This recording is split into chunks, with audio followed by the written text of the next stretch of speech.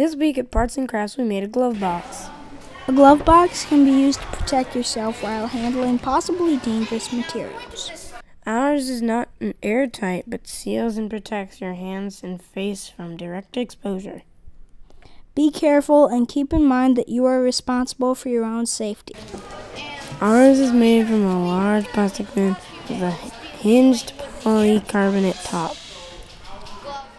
A foam lip helps keep smells inside, and two PVC lined holes connected connected the chemical two chemical gloves let you handle materials inside the box.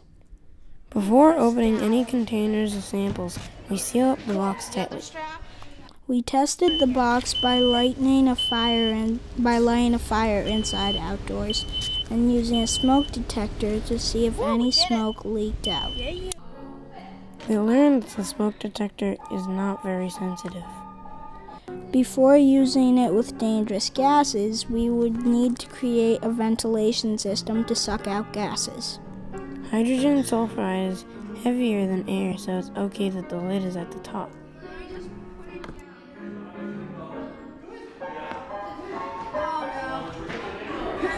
Wrong direction.